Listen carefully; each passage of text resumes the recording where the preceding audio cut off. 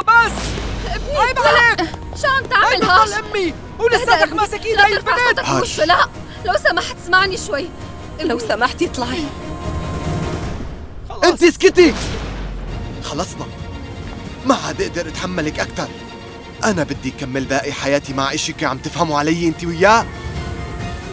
خدي المصاري يلي بدك ياهن هلأ ويلا روحي من هون فورا. ولا عاد تورجيني وشك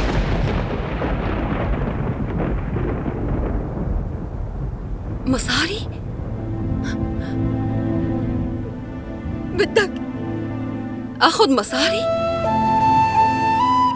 طيب أنت على شو رح تدفع لي جايش؟ قلي على شو رح تعطيني؟ فيك تعطيني أي شيء بكفي البيت؟ فيك تعطيني شيء لمجرد إني مرتك وخلفت أولادك وربيت لك ياهن؟ ولا أنت رح تقدر تعوضني عن حبي؟ احكي سمعني صوتك. قلي قلي شو رح تعطيني حتى تعوض عن خيانتك وغشك لإلي وكيف رح خبر العالم؟ بدون ما حضرتك تخسر كرامتك كيف بدك خبرهم بدون ما تنقص قيمتك قدامهم؟ 30 سنة جايش ضيعت 30 سنة من عمري عليك وعلى العيلة بس أنت هلأ ما أخذت منك دقيقة واحدة حتى تقلعني من البيت وتقلي روحي من هون وما بدك تشوفني. أنا عم تطلعني برات البيت.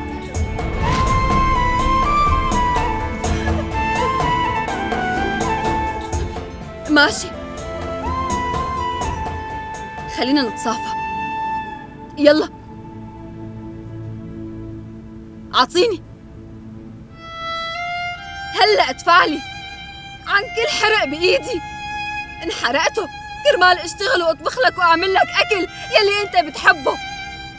بدك تدفع عن كل يوم أنا كنت عم ضحي فيه. كرمال تعيش فيه حياة هنية وسعيدة وصحية. ادفع لي لشوف. أنت لازم تدفع لي.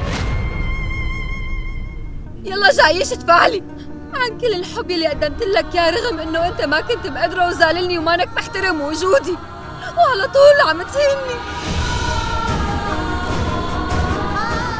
واليوم رح نصفي الحسابات لكل شيء قدمت لك إياه. مفكر رح تقدر ما رح تقدر أمي. ماما. ما رح تقدر ماما. أمروتا لا تنخدعي فيا بنتي. لازم تفكري بحالك. إذا ضليتي معها رح تندمي. رح أخليكي تتزوجي. رح يكون شخص كتير لطيف وحنون معك.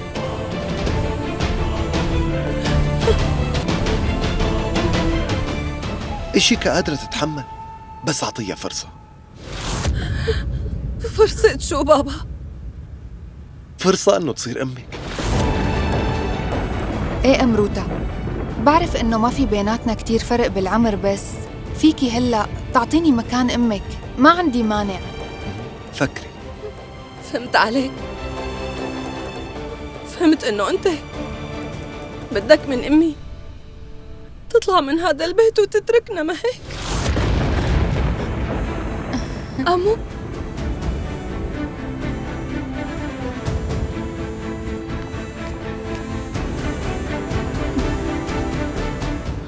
هي هي بنتي.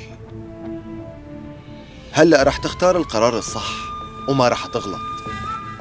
هي بصف وعلى طول رح تضل تدعمني وانت هرش اسمعني شو رأيك أنت؟ بدك تصير دكتور؟ ها؟ إذا ضليت مع أمك رح تدمر لك مستقبلك صدقني رح تندم كتير تعال معي أنت ابني فهمت علي؟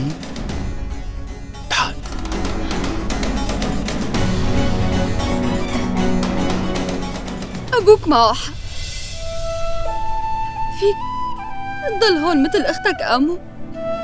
أنت على طول كنت تساند أبوك. خليك هون ابني. أنا أنا اللي رح روح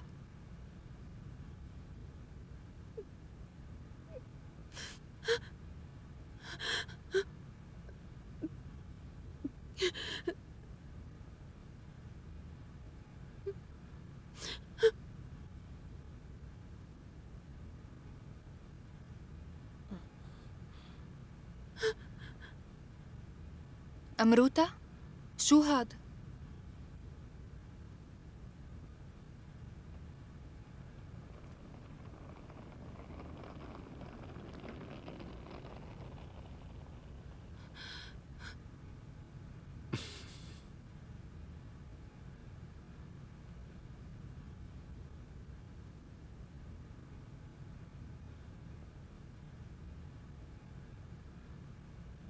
خلصنا بقى استرخي. رح نحل هالمشكلة بس. هلا خلينا نروح ونحتفل مع بعض. يلا يلا بسرعة. كنشتكن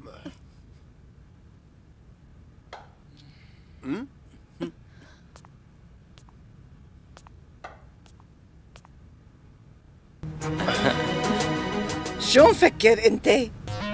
رح تقدر تتسلل وتطلع برا البيت بلا ما أعرف؟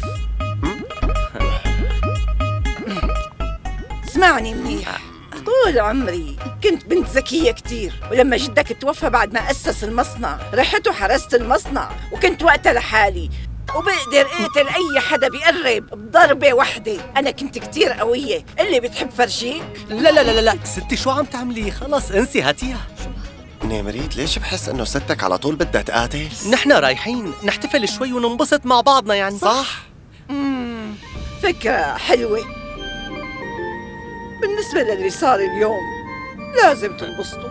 ما في مشكلة. طيب روحوا محل ما بدكن وغيروا مزاجكم وانبسطوا. ولا تفكروا بشي أصلا لازم نحتفل على طول. أنا كتير بحب ستي لأنه بتعرفني كتير منيح وبتعرف شو بحب بالضبط بعرفك كتير منيح وبعرف إنك ما بتحب توصل أخبار سيئة للعالم. بس انت لازم تخلي هدول الناس يشربوا من نفس الكاس. ما بيأثر إذا توجعوا شوي أو تضايقوا أو انكسر قلبهم لأنه هيك الحياة بتمشي. وهلأ أنتوا روحوا وانبسطوا. بس بكرة بتعلمها. درس للبنت لا تتردد بهذا الشيء. انت حفيد مين؟ حفيدي. انت إيه. حفيدي أنا. ها؟ ورح تخلص منهم يا ابني لا تتردد. إيه إيه أكيد يا ستي أكيد. يعني بالأخير أنا بكون رجال البيت. طبعا. رح أتحمل كل شيء. تمام؟ إيه.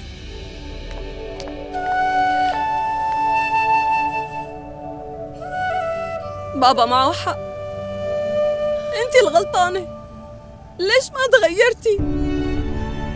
ما في أي حدا بيقدر يضل منيح ومثل ما هو 30 سنة ورا بعضها أنت قضيتي كل حياتك بالمطبخ وضليتي مشغولة وأنت عم تطبخي الأكلات اللي بنحبها.